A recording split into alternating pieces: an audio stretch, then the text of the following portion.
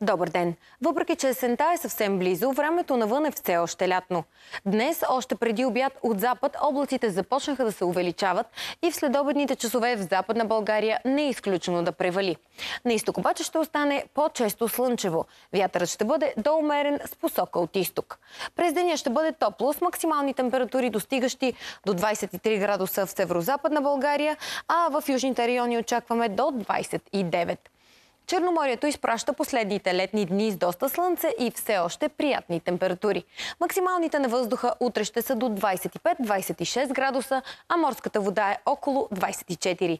Източният вятър обаче задържа морето бурно, особено на юг. Плаините обаче няма да са толкова гостоприемни и слънчеви. През деня облаците постепенно ще се увеличават и в късния следобед в масивите на Западна България е възможно да превали.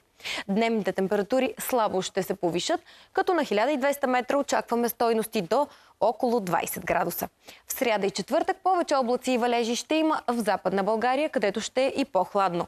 На изток обаче ще е с повече слънце и температури до 28-29 градуса. От петък до края на седмицата времето ще се стабилизира.